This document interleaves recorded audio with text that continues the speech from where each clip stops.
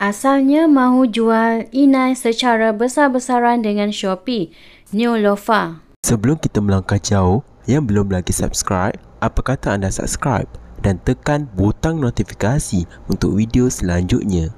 Sejak kebelakangan ini, kecoh di media sosial mengenai pelakon dan usahawan tersohor Nur Neolofar yang dikatakan tikam belakang para stokis dan ejen Inai Nunha keluarannya.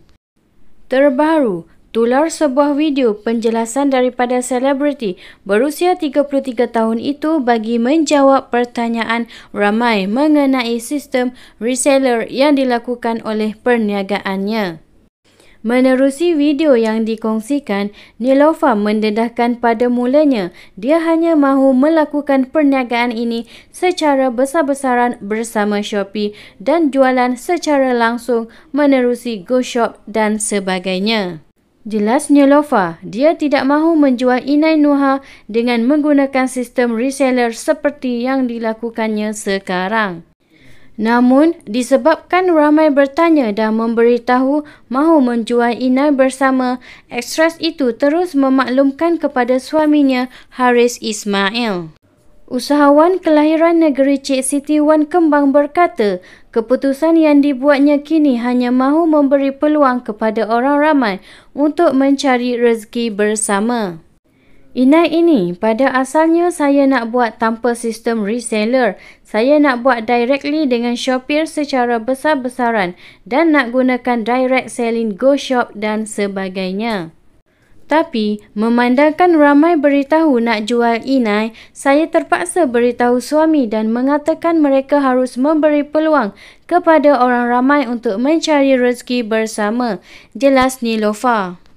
Bagaimanapun, terdapat segelintir daripada mereka mengambil peluang yang diberikan oleh Nilofa dan suami dengan membuat tahi di mana mereka menghentam dan menyebarkan vibes negatif kepada ramai.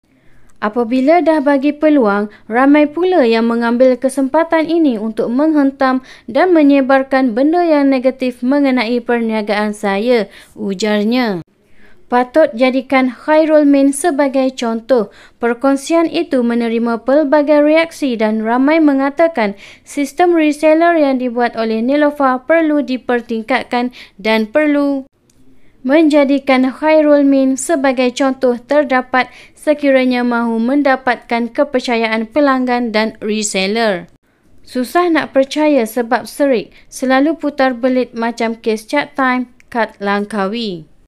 Malah ada yang mengatakan mereka tidak percaya dengan penjelasan yang diberikan oleh pemilik nama Nur Nilofa Muhammad Nur memandangkan usahawan itu pernah putar belit situasi melangkaui ke Langkawi atas urusan cawangan baru cat time tempoh hari.